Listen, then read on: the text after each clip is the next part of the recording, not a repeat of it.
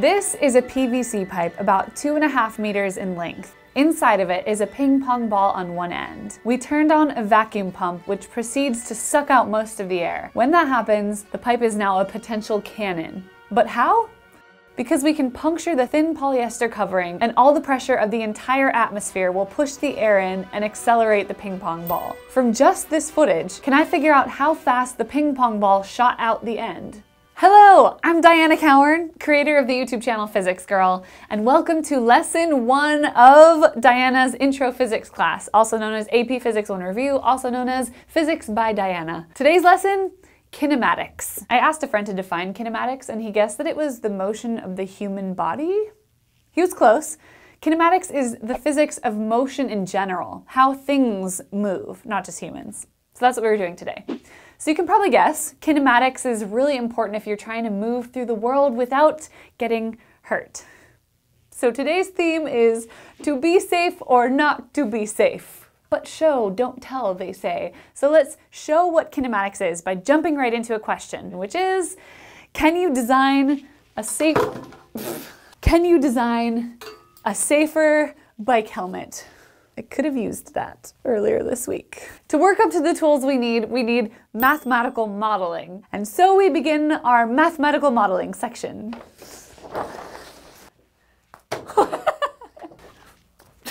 Here's a simple scenario. A person mountain biking on a flat trail. that does not look like a bike. Let's give her some hair. Oh geez. She's going 10 meters a second. She's a very steady, safe cyclist, which I guess is a nice thing to say about someone, someone boring. Side note here about units. You're probably used to going miles or kilometers per hour, not meters per second, but the math is a lot easier in metric units, so there's a really simple conversion where you just double your meters per second and you get miles per hour. So 10 meters per second is about 20 miles per hour. You can check that on Google. It's not exact, but it's pretty close. Okay, our cyclist. She could start anywhere, but we're gonna start her here at position equals zero. And we've reduced her to a point particle. Yeah, physicists do that a lot. A second later, she's gone another 10 meters. This is my time, and this is my position. A second later, another 10 meters. A second later, another 10 meters. The graph would look like this, where my horizontal axis is time and my vertical axis is her position in meters. There she is. We've made a simple mathematical model of her motion. Pause everything. Here is a key wonderful moment because this is our first solid example of what we mean by mathematical model. That's what we talked about in the intro video to this whole class, the fact that physics makes mathematical models.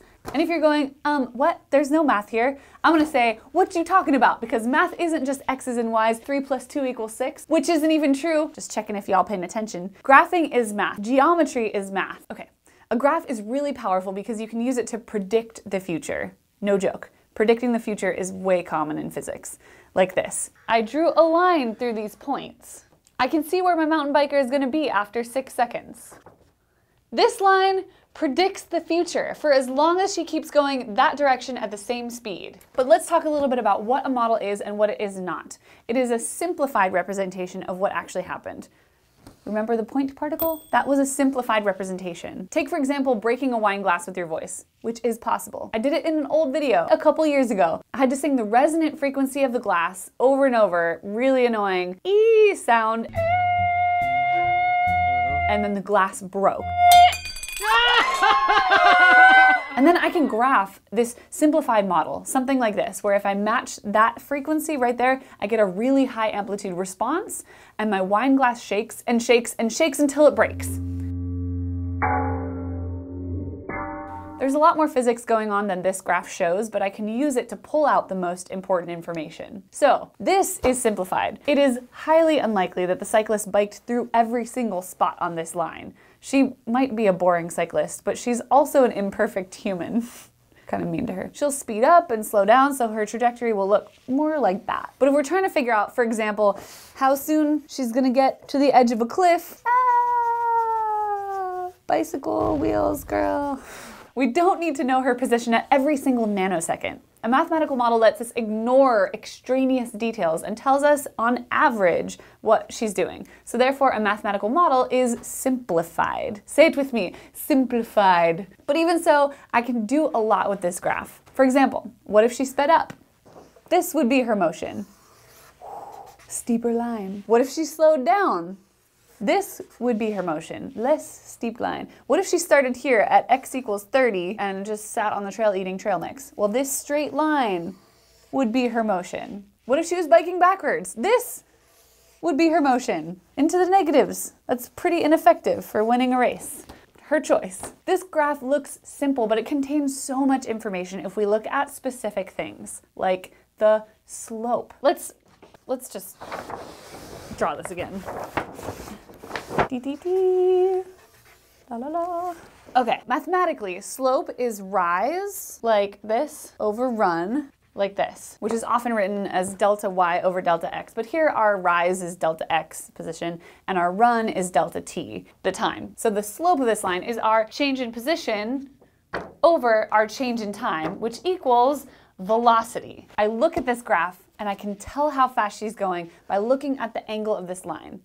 Let's check that with units. Here's another aside. Throughout this course, we're gonna pay close attention to units. My high school teacher taught me this trick and it's called dimensional analysis and it helped me solve so many problems during my college exams at MIT. I kid you not. We are not going to write down an equation in this course without checking the units to see if they make sense. Physicists use dimensional analysis all the time to make sure that we're not adding apples to oranges or pie to cake.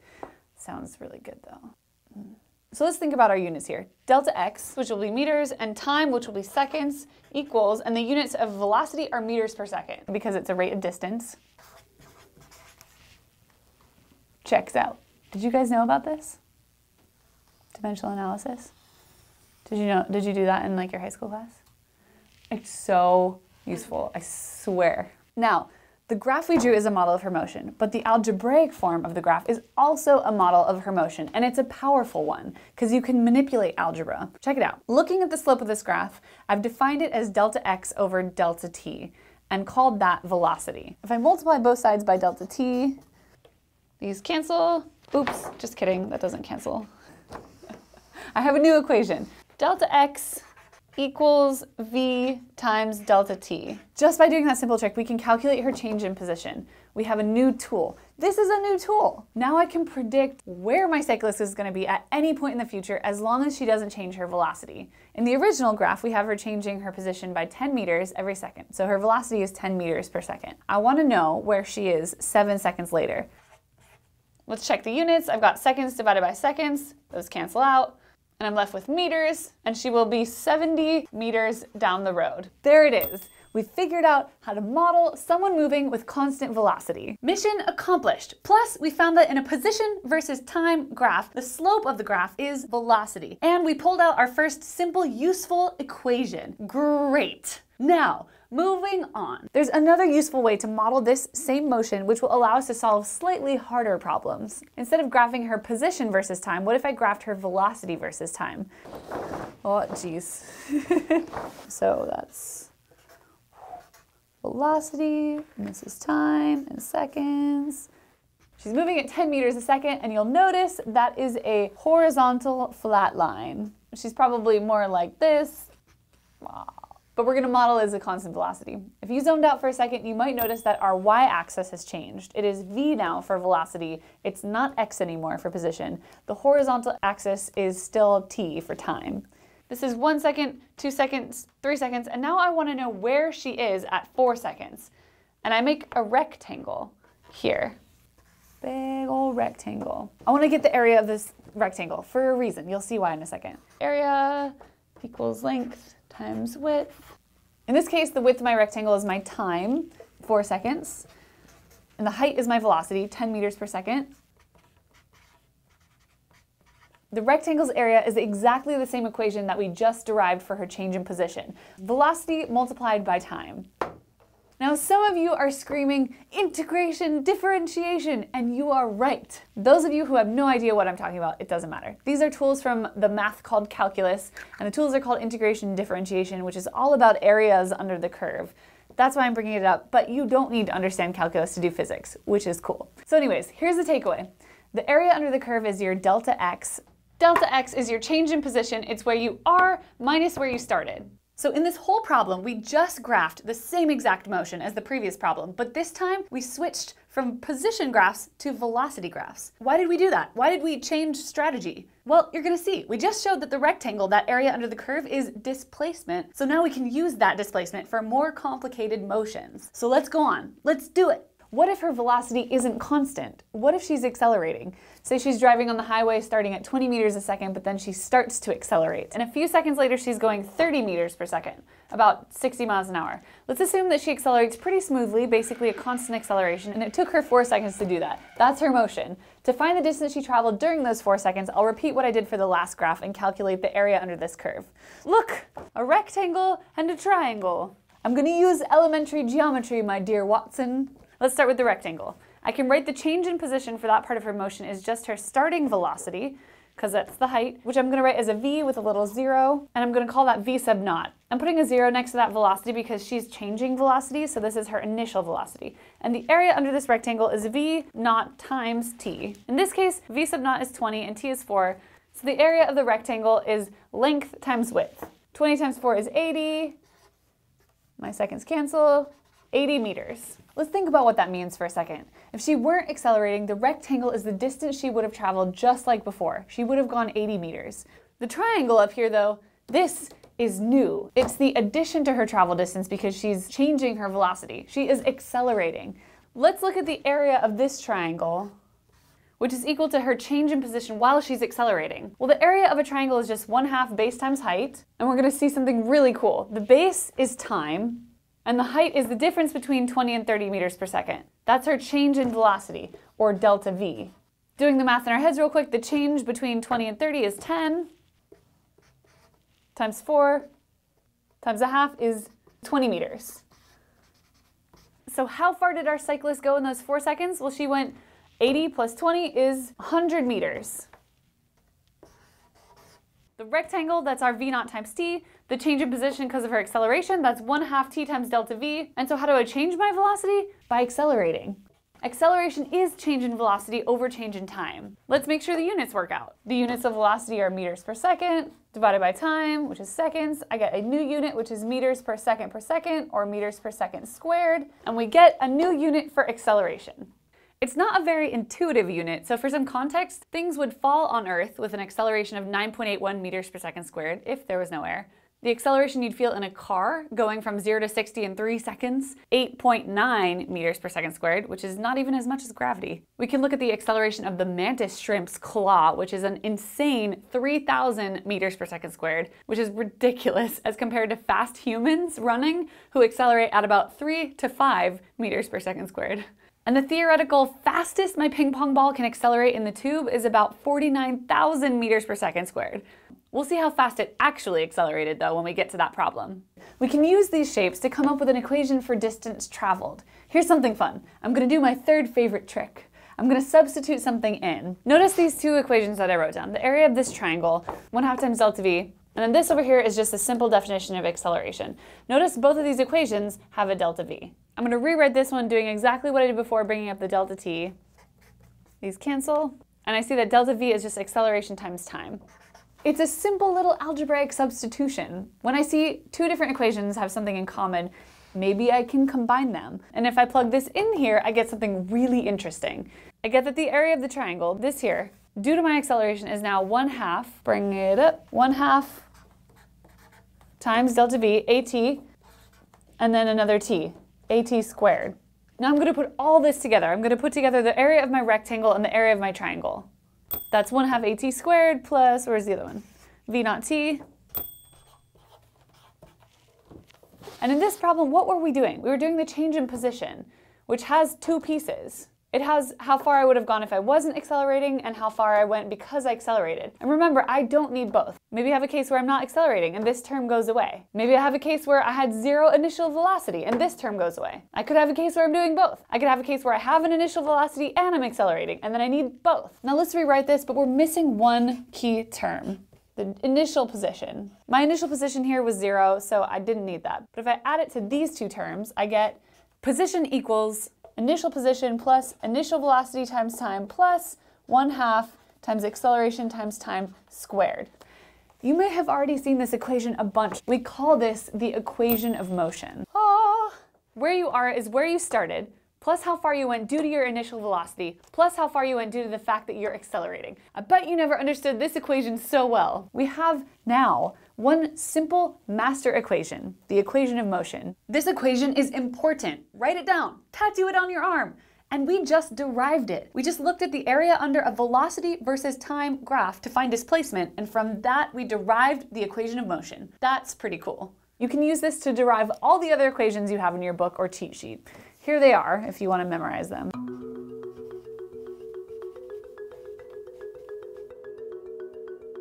And I can now solve my ping pong ball question. How fast is the ping pong ball going when it leaves the pipe? I only need two measurements. The distance the ball traveled, which I measured using the nice tape measure on screen, and I got 2.29 meters. And the time, which I measured by knowing this was filmed at 18,000 frames per second. So each frame is 1 18,000th of a second. And I get about 0.121 seconds. So my average velocity is 2.29 meters over 0.0121 seconds, distance over time, which equals 189 meters per second. If we assume constant acceleration, my final velocity is twice that then, at 379 meters per second, which is over 800 miles an hour. Dude, that's faster than the speed of sound, which doesn't seem right. So I redid the same type of measurements, but I used the last four and a half centimeters of pipe, which only took three frames, and I got 270 meters per second, which is a lot more reasonable. So why the difference? Well, it's not actually constant acceleration. There's a bunch of complicated things going on, including the fact that air is rushing in, not just pushing the ball, it's also pushing itself. But I did measure an incredibly high acceleration of 47,000 meters per second squared for the first 10 centimeters. Can you think of how I did that? And voila! Now, my final question is, can you build a safer bike helmet? Okay, say you've got a mountain biker, she's wearing a helmet, and she runs into a tree, going around 10 meters per second, about 20 miles per hour, and she loses her balance and falls off the bike. I'm a much more careful cyclist. I want to know what her face feels. Specifically, I want to know what the acceleration of her head experienced. Her head comes to a complete stop in the distance that part of her helmet crumbles, which we'll generously say is about 10 centimeters. Now, I don't have any fancy laser devices, I just have her speed and the helmet crumple length, 10 centimeters. If I just plug this into my equation of motion, which we'll write again, this term goes away because her initial position is just zero. I know her initial velocity, I don't know her time, and I don't know her acceleration. I have two unknowns. Now there's probably some fancy equation in your book you could just plug and chug, but to me that gives no intuition for what's actually going on. So let's do this. I have this equation for x, but I have two unknowns, a and t.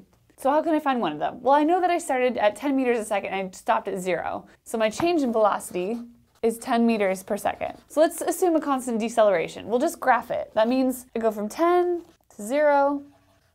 This means I know my average velocity because it's just halfway between 10 and zero.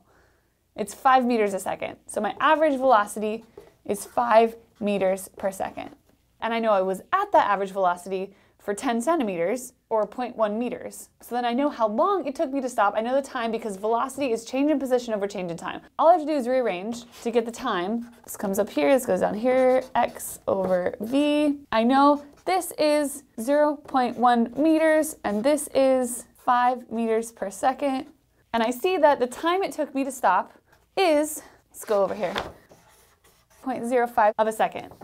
Now her acceleration. Well, it's a change in velocity, which is 10 meters per second, over change in time, which is 0.05 seconds, and I get 500 meters per second squared. That's about 50 times the acceleration you would feel from gravity here on Earth's surface. So that's a lot, but it's survivable. You may have heard of this sort of comparison for accelerations called G's. So for example, my friend Destin from the channel Smarter Every Day got to go up in an F-16 and he experienced 7 Gs hoping it happens one day. The highest ever recorded Gs experienced by a human were 216 Gs. Want to hear something crazy? The mantis shrimp punch, that's the majestic creature that I made a whole physics girl video about. Its claw accelerates up to around 15,000 Gs. So now you're thinking to yourself, thank goodness she was in a bike accident and not punched by a mantis shrimp. So we found the bike accident is survivable, but you might still get a concussion. So how do you make your helmet safer? Well, if you increase the distance you need to stop, say if you have an inflatable bike helmet that gave you another 10 centimeters, well that's like how the crumple zone, the front of a car that crumples when you're in a collision, helps you feel less acceleration. So you can work out the inflatable helmet problem Go Google inflatable bike helmets, figure out what the crumple zone of a helmet would be, and work out the acceleration. Send me the answer if you do it. I believe in you. So that's our first lesson on kinematics. When they ask you what you learned on YouTube today, here are your two important takeaways. If you can turn your physics problem into a graph or a picture, do it. If you can find your average velocity in problems with 1D constant acceleration, use it. And here are all the problems we did today. You know why? Because the only way to really learn physics is to work problems. So here's your homework. Go work all these problems again on your own. For real, I'm not kidding. Go do them. You can also find a ton more one-dimensional motion kinematics problems online, so if you find any other interesting problems, post them in the comments. We've just touched on the basics of kinematics, because if you stick with physics, stranger things happen. For example, in this whole lesson, we assumed that time passes at the same rate for everybody, that one second for the cyclist is equal to one second for the tree she hit. It's not fake physics we just did, but it's a less precise approximation. If you want to be really precise, time actually passes more slowly if an object is moving and you really notice it when that object is traveling close to the speed of light. That's real physics. You get cool thought experiments like where one twin leaves Earth for two weeks and comes back to find that their twin has aged 40 years. If you continue on to take physics and take a class on special relativity, you'll learn about that craziness and a whole lot more. And I hope you do stick with physics. And now a message for you from a special guest. Hi, my name is Simone. I run a YouTube channel named after myself. because I couldn't think of anything more fun. But little known fact is that I actually used to study physics in college. I did drop out after just a year, which is a little bit of a parenthesis, but I love physics and I am so excited for you to learn more about it because what better way to understand the world than through the magic of numbers. Good luck!